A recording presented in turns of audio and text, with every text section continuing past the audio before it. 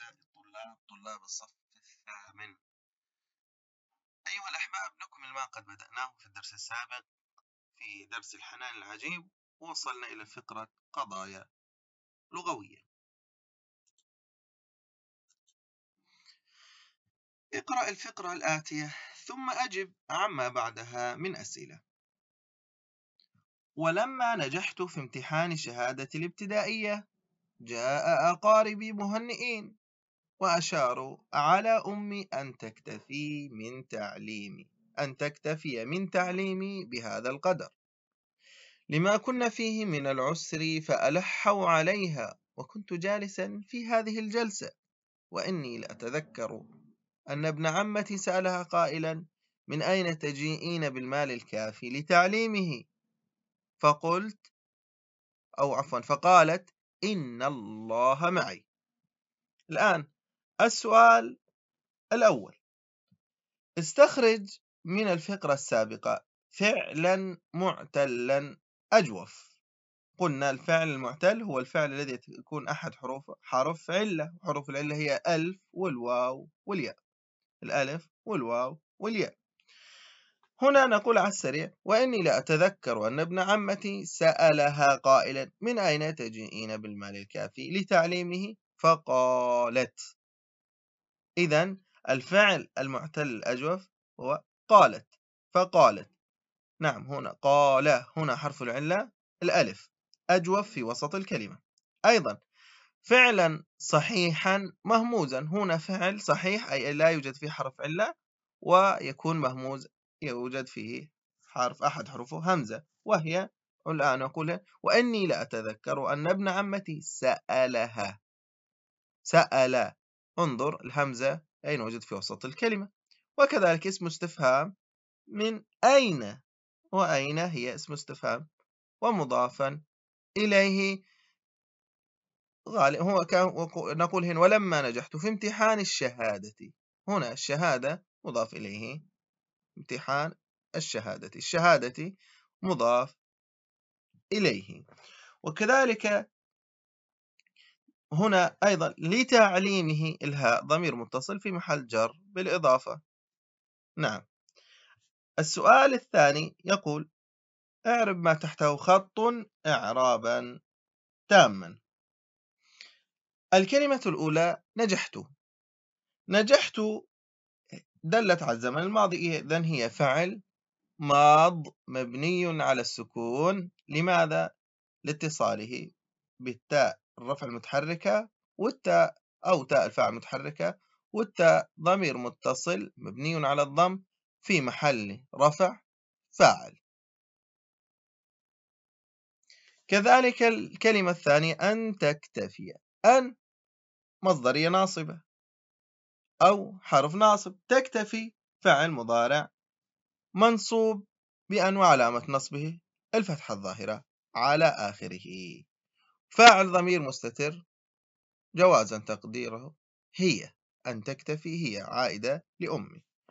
كذلك لتعليمه اللام هنا اتصلت في الاسم لتعليمه تعليم هنا اسم أو مصدر لكن ليست فعل لام للتعليم. اللام هي لام اللام حرف جر وتعليم اسم مجرور وعلامة جره الكسرة ظاهرة. والهاء ضمير متصل مبني على الكسر في محل جر بالإضافة أو جر مضاف إليه. ننتقل إلى السؤال الآخر. يقول فرق بين التاءات التي تحتها خط فيما يأتي. أي جاءت تاء أكثر من تاء موجودة في الأمثلة. نبين هذه لما جاءت وهذه لما جاءت. فقالت هنا التاء هل هي تاء فعل متحركة أم أنها تاء التأنيث الساكنة؟ هنا نقول فقالت إن هي تاء التأنيث الساكنة. وأيضا فقالت إن الله معي. ولو أني أصبحت انظر هنا التاء أيضا هي تاء الفاعل المتحركة. أخدم لكن دلت على ماذا؟ دلت على المتكلم. أخدم في سبيل تعليم ولدي ما ترددت. أيضا ترددت هنا تاء الفاعل المتحركة للمتكلم تاء الفاعل المتحركة كما أصبحت وترددت. وقال, وقال الشاعر هل فرشت العشب ليلا وتلحفت الفضاء؟ هنا التاء هنا أيضا تاء الرفع المتحركة أو تاء الفاعل المتحركة تاء الفاعل المتحركة لكن دلت على ماذا؟ دلت على المخاطب. هل فرشته لكن هل المخاطب هذا مذكر أم مؤنث؟ نعم دلت على المذكر أيضا. كم كتابا قرأت؟ الآن أيضا التاء هذه دلت على المخاطب لكن قرأت هنا دلت على المخاطب المؤنث. كم كتابا قرأت في هذا الصيف يا غنى؟ ننتقل أيها الأحباب إلى الكتابة. الكتابة يقصد بها كتابة الموضوع أو المقالة أو القصة. اكتب في واحد من الموضوعين الآتين مقالة تعبر فيها عن محبتك واحترامك لوالديك تشكرهما تشكرهما فيما فيهم تشكرهما فيها على ما يقدمانه لك.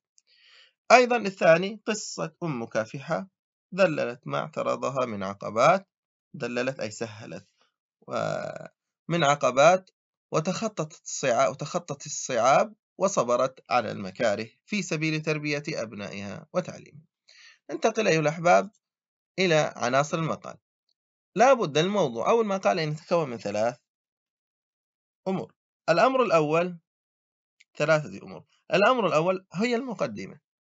يقول في المقدمة هي مدخل ووسيلة لسحب القارئ إلى جسد المقال. كان مثلا تتكلم عن الأم أن تتحدث بشيء باختصار عن الأم تعريف الأم مكانة الأم حنان الأم في موضوع سطر أو سطرين. المحتوى تخدم في هذا الموضوع ويسمى ذلك أيضا محتوى أو العرض تخدم في ذلك موضوعك وتسرد القصة أو الموضوع الذي تتحدث عنه ويزيد من تقوية الموضوع أو المقالة عندما تضع فيها شاهدا كالآية أو حديث للنبي صلى الله عليه وسلم وكذلك أو أبيات شعر أو مقولة عالم مشهور. طبعا. والخاتمة هنا يقول قفلة الموضوع أو تسكير الموضوع كما يسمى أو المكان الذي يدرك فيه القارئ أنه وصل إلى النهاية. ثم إن أردت أن تضع موقفك الشخصي آه، ورأيك في هذا الموضوع أنت كطالب تضعه. إلى هنا أيها الطلاب نكون قد انتهينا من درسنا.